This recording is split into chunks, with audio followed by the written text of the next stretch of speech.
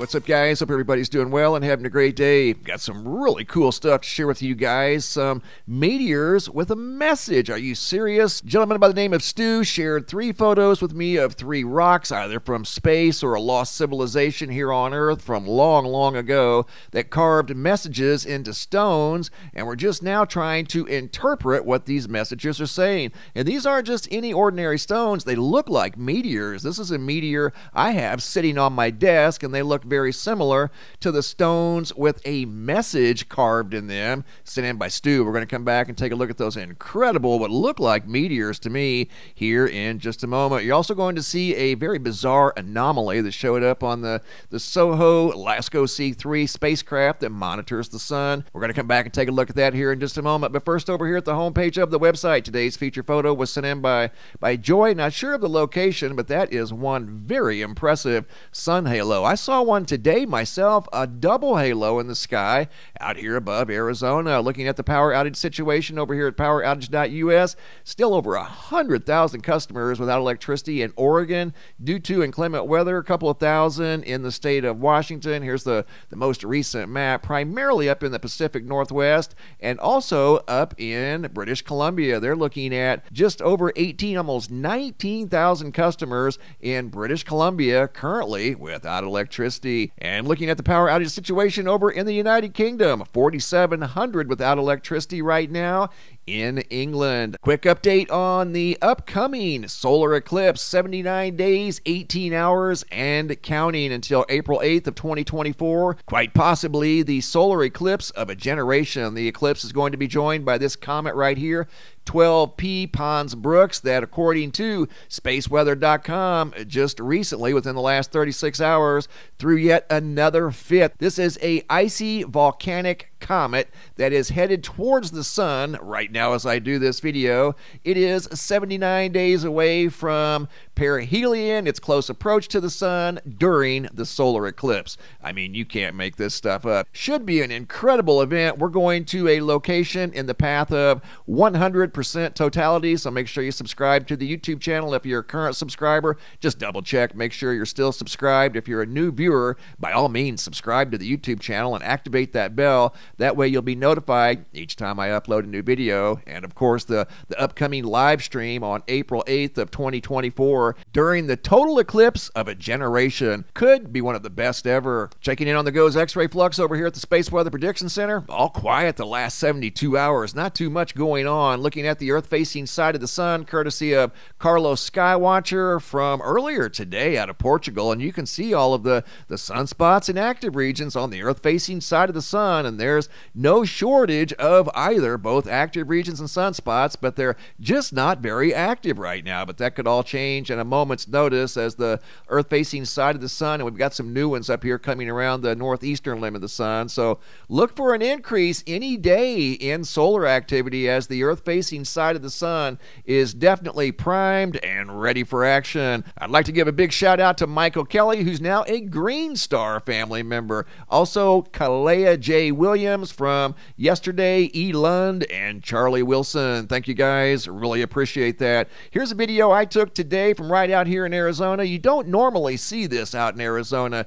You see the vertical halo around the sun, and then I noticed the white ring going horizontally in the sky, originating from the sun. Check that out. You don't normally see that unless you're up in Denmark or Sweden or someplace extremely cold. I can't say that I've ever seen this out here in Arizona, with the exception of today at around 11 o'clock when I took that video from right out here in Arizona. Okay, check this I want to take you guys now up to the Soho LASCO C3 instrument that monitors the sun 24 7. This was sent in by our friend Nelson Jinks, who noticed this anomaly show up just kind of out of nowhere.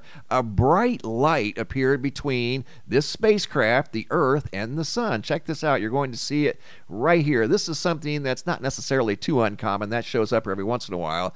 But that, however, is on a different level. I don't know what we've got going on there. This is where I paused it and I zoomed in. And this occurred on the 18th at 1442 Universal Time almost temporarily looked like some sort of a planet showed up and then very quickly disappeared. Obviously, it's probably not a planet. Either way, that was some sort of a very bright, temporarily very bright object that appeared between this spacecraft and the sun, and this spacecraft orbits the sun with the Earth. So, whatever this was, it appeared between the Earth and the sun just a few hours ago, and it showed up on this instrument. Some sort of a bright, mysterious object that showed up on the, the SOHO LASCO C3. And speaking of mysterious objects, these photos were sent in by Stu. I believe Stu is in Australia. These stones have a message on them. They have a story to tell. I don't know if these are from space. The reason I say they could have been meteors with a message is because their stunning similarity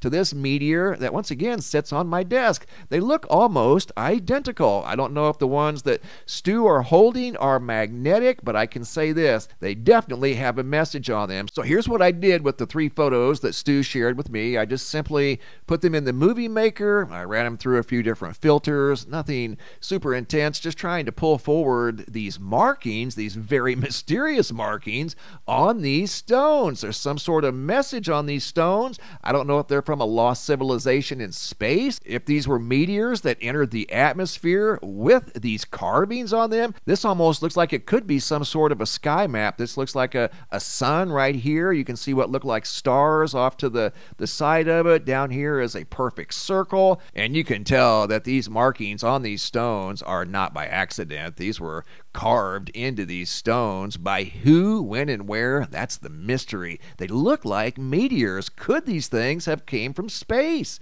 I don't know, but they look just like, once again, here's another example. This meteor is sitting on my desk right next to me. It's less than two feet away from me, and it is highly magnetic. It looks very similar, at least in size. Obviously, mine doesn't have carvings all over it like this one here. And again, you can tell that these were not by accident. These are not random. These are some sort of carving, some sort of a message from a lost civilization long, long ago, whether it be a civilization on Earth. This almost looks like some sort of a star map, looks like a sun and stars up in the sky. Not quite sure what to make of that. It is highly interesting, highly mysterious stones with messages. There's three of these that have these very unique writings on them.